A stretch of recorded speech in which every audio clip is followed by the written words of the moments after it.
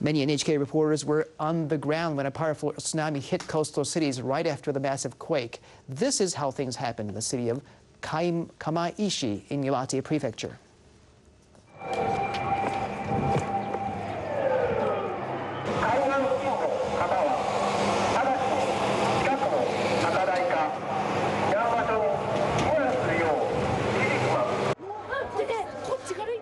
At 3 p.m. Friday afternoon, Kamaishi City Hall issued a tsunami warning.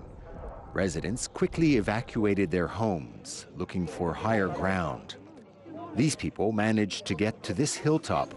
Mothers held on tightly to their children. They listened anxiously to the radio for more information. えー港の、えー港の境を越えて 水が今、えー入り込んできています。At 311, a massive tsunami swept through the city.